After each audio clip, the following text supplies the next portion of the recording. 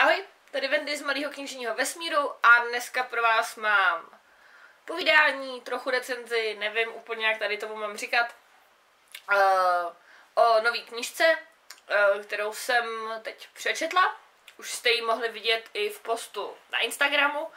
Tohoto focení bylo docela jako zábavný, byla to fakt sranda, jestli jste tu fotku neviděli, tak určitě doporučuji. A je to nová spolupráce, za kterou jsem vlastně docela ráda. Myslím si, že je to třeba podpořit nový český nakladatelství eh, a potažmo teda jejich eh, produkci. Eh, je to nakladatelství Karkosa, který vydává především hororovou literaturu. Je na trhu, respektive na tom českém literárním trhu chviličku. A oni mi teď poslali teda dvě knižky. První z nich je knižka Oni, kterou mi jako neustále spala Irča, že si to potřebuji prostě přečíst, že to musím chtít číst a spala to ještě spoustě dalším lidem. Takže já, když jsem pak eh, dojednávala podmínky té spolupráce a tady tohle celého fungování, tak jsem si řekla, že si to teda jako přečtu, abych s ním měla o čem mluvit, aby jsme měli zase trochu nějaký nový téma. A právě o ní si dneska povíme. Ještě od nich mám jednu knížku, kterou momentálně čtu, takže to uvidíte určitě brzo, jsou to tentokrát povídky. Uh, román Oni od uh, Marka Epochy je v podstatě klasický Bčkový horor. Pro mě třeba. Uh, chápu, že to tak nemusí vyznít pro každýho. Řeknu vám důvody, proč si to myslím a třeba na to můžete mít jiný názor. Jestli jste ji četli, tak uh, se mi určitě ozvěte, můžeme k tomu jako rozvíct nějaký dialog. Uh, knížka Oni je o partě lidí, kteří žijou na Slovensku, pracují v nějaký bance a oni jedou na takový ten pracovní meeting, kde vás to má jako hrozně motivovat k té práci a tak. A oni jedou do Čech, eh, k Českým Budějovicům, do jednoho lesa. Eh, ten les je docela jako profláknutý, je to skutečný les, není to jako nic fiktivního. I o tom jako kolují různý báchorky, že tam straší, je tam strom, na kterým se jako oběsilo spoustu lidí, je tam masový vlčí hrob a tedy a tedy. A úplně z toho není jasný, jestli ty lidi, respektive ta jejich šéfová, která to plánuje, tady tohle ví a neřeší to, anebo to neví si myslím, že mohla být uh, trochu zajímavá jako linka, vlastně mě mrzí, že to tam nebylo. Uh, a oni se teda rozhodnou tam jet, že tam budou stanovat a že je to právě jako zblíží. Uh, zároveň do toho lesa odjíždí dcera se svým otcem, která mě vlastně zajímala strašně moc a ve finále mě mrzelo, že jí nebyl jako dán dostatečný prostor v té knížce, protože si myslím, že by to mohlo být mnohem zajímavější. I vzhledem k tomu konci si myslím, že by se to hodilo mnohem víc. Uh, tady ta holka uh, je pubertěčka a má svoje jako velký tajemství, dost děsivý, nebo mně to tak jako úplně nepřišlo, nebo ne, ne, nemyslím si, že je to až zas tak děsivost, ona to bere i trochu jako dar, je to něco, s čím umí pracovat. Nechci říct, že uh, jako jo, abyste si nemysleli, že je telepatka telekinetička nebo tak něco, ale je to z tady tohohle jako okruhu uh, lidských podivností. Uh, ten její táta taky není úplně v pořádku, ale prozrazovat vám to nebudu, protože to už by bylo moc. Uh, Oni tam teda, tahle ta parta a ta holka s tím tátou jedou nezávazně na sobě, jedou tam ale ve stejný čas. Uh, v tom lese uh, ale není všecko tak, jak by mělo být. Nechci říct, že tam vyloženě straší, ale nedějou se tam hezké věci. Uh, právě tu partu těch uh, bankéřů tam začnou pronásledovat uh, parta jako nějakých pošuků, eh, který se snaží postupně jako vyvraždit. a na tomhle stojí celý ten příběh, jo, kdy parta pošuků ve zvířecích maskách a parta bankéřů běhají jako v noci po lese a jedni se je snaží zabít a druhým snaží se jako zdrhnout, což uh, je vlastně dost nerovný boj. Uh, ty popisy těch uh, zabití jsou dost realistický, jsou jako jo, je to nechutnost, když si to tak vemete, jako nechtěla bych u toho být, ale zároveň to působí vlastně ve spoustě věcech strašně kýčovitě. Je to hodně o takových těch potocích krve, o vyhřezlých vnitřnostech, o smradu, o řevu a, a tak. Což mě uh, takovýhle věci v hororech úplně, nechci říct, že nebavějí, ale úplně to na mě jako nefunguje. Já mám ráda takový ten horor s tou plíživou atmosférou, to, kde to ve vás fakt jako vyvolá pocit toho strachu a toho, že se v noci bojíte zhasnout lampičku a ne to, že jste z toho jako imrvére jako znechucený, ale vlastně to s váma nijak jako víc nepohne. Myslím si, že právě vyvolat pocit strachu je účelem a údělem hororu, proto ho čteme, aby jsme se báli a ne, aby jsme byli jako úplně znechucený.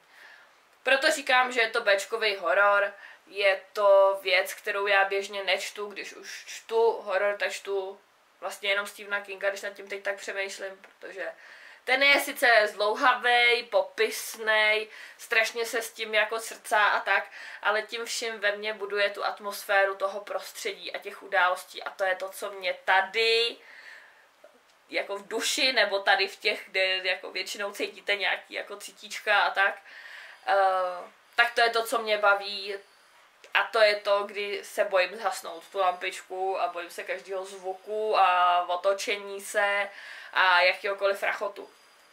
To tenhle horor, pokud jste milovníci hororů, vám úplně nedá. Eh, osobně bych se ani nepodepsala pod to, že je to horor, spíš mi to přišlo jako vyvražďovací nějaký thriller s teda nadpřirozenýma prvkama, dejme tomu může být. Spíš asi tak bych to viděla. Uh, přišlo mi fakt škoda, že tý Triše, uh, což je ta holka, která jede do lesa se svým tátou, jsou věnovaný asi jenom dvě kapitoly v tom příběhu a pak až závěr. Protože ono, když si to přečtete a dojdete k tomu konci, kdy teda se to všecko jako ukáže, kdo je kdo, jak to celý vlastně trochu bylo. Uh, který konec se mi vlastně hrozně líbil, to na té knižce bylo snad jediný dobrý, když teda opomenu kapitoly Stryš, tak mi to přišlo, že ne, že by ona byla celou jako tou příčinou všech těch událostí, ale přišlo mi, že v tom hraje jako hodně zásadní roli, která za jedno nebyla až zas tak úplně vysvětlená a za druhý fakt byl daný minimální prostor. Že kdyby to bylo obráceně, kdyby to celé bylo vlastně o té Trish, o jejím životě, o tom jejím daru, prokletí, lomeno něco, něco.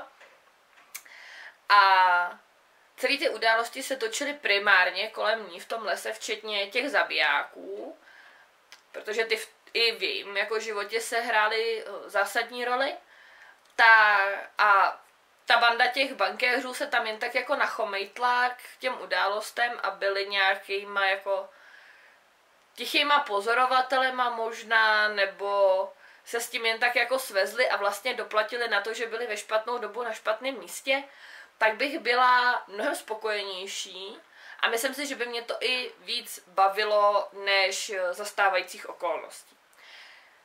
Nechci to úplně strhnout. Nechci říct, že je to úplně jako špatná kniha.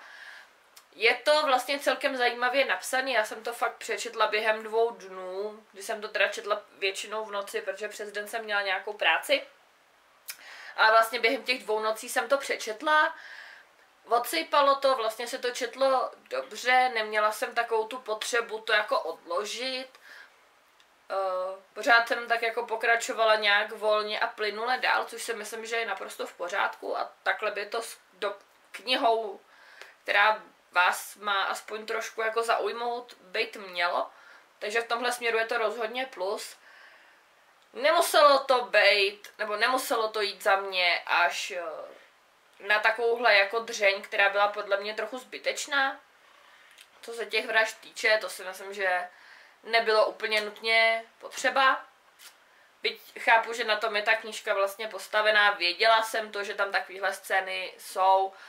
Eh, jak Irča, tak všichni ostatní, kdo tu knížku četli, o tom mluvili, takže tohle byla věc, se kterou já jsem počítala. Takže ne, ne, nechci říct, že mě to překvapilo, ale myslím si, že to bylo pro tu knížku naprosto zbytečný a nebylo to třeba to hnát až do takového jako extrému.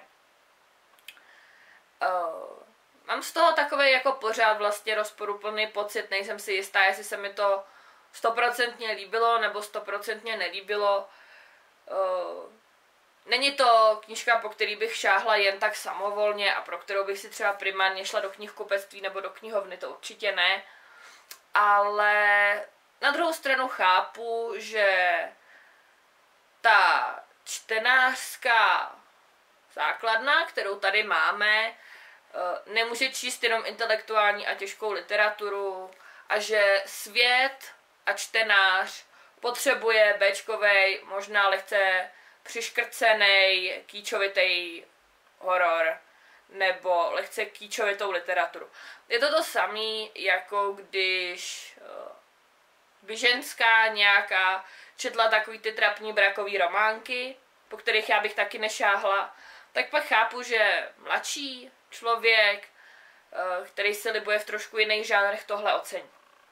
Uh, takže jsem vlastně ráda, že český trh s něčem takovýmhle přichází, ať už jde o českého autora, který to napíše, nebo o český nakladatelství, který se rozhodne takovouhle literaturu vydávat.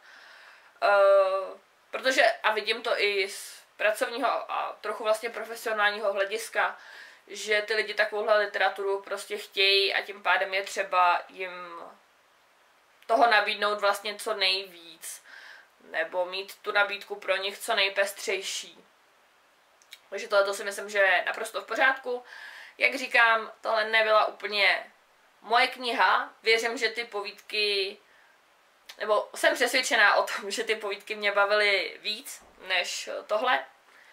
Taky ne všechny, ale bylo jich tam spousta opravdu výborných, který uh, se mi líbily a který mě opravdu bavily. Budu o tom mluvit jindy. Uh, tohle nebylo špatný. Nemůžu říct, že to byla to byl úplný brak, který eh, by se neměl jako vydávat a nechci říct, že to byla škoda papíru, protože to si taky úplně nemyslím. Rozumím tomu, že tohle lidi potřebujou. Já nejsem úplně cílovka, ale i přesto uh, si nemyslím, že přečíst si tuhle knížku byla vyloženě ztráta času a bylo to vyloženě jenom uh, kýčovitý, trapný a že mi to nic nedalo. Určitě jsem si na to nějaký názor udělala, byly tam věci, události, které byly dobrý.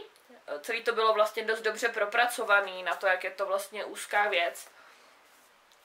Jak jsem řekla, kdyby to bylo opačně postavený, než jak je to v té knižce, byla bych radši, byla bych spokojenější, přesto eh, to pro mě není totální jako odpad. Myslím si, že jsem četla za svůj život mnohem, mnohem, mnohem horší věci, než eh, je tohle. Eh, je hezký, že se to odehrává navíc v českém prostředí.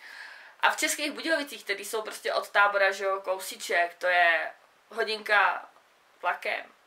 Takže i, i ten kraj, i to prostředí mi bylo vlastně blízký, protože to znám. Vyrostla jsem na jihu Čech, že jo. Oni jsou pro mě takový jako klasický průměr, co se literatury týče.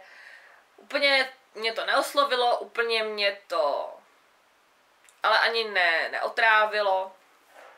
Uh, teď ji budu posílat dál, budu ji počovat kamarádovi, takže jsem zvědavá, co mi na to řekne on. Uh, protože on rád jako horory, scifíčka a takovéhle věci. Já jsem si s ním o tom hodně psala, když jsem tu knížku četla, takže jsem dost zvědavá, co si o tom myslí. Nebo co si o tom bude myslet, až to přečte. Uh, za mě vlastně dobrý.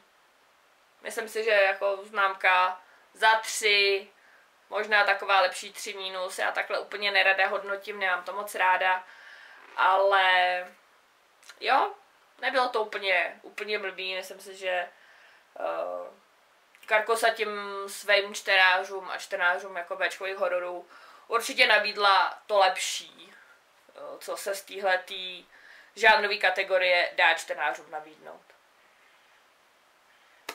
Tak, to bylo ode mě pro dnešek všecko. Jestli jste knížku o ní četli, tak dejte určitě vědět. Jestli máte rádi takovouhle literaturu, tak dole pod videem máte eh, odkaz na web eh, tady tohohle nakladatelství a my se uvidíme příště u dalšího videa a s nakladatelstvím Karkosa rozhodně hodlám ve spolupráci pokračovat, takže se brzo můžete těšit na nějaké jejich další knížky z produkce. Jestli vás zajímá, co třeba čtu aktuálně teď, co dělám a tak, tak mě sledujte na Instagramu, protože tam já toho dávám vlastně docela dost, snažím se tam být jako maximálně aktivní. Odkazy ke všemu máte taky dole v popisku. Uh, užijte si tohleto jako podzimní sichravý počasí, který vlastně těm hororům uh, docela nahrává co do vytvoření dobré atmosféry a mějte se fajn. Zatím ahoj.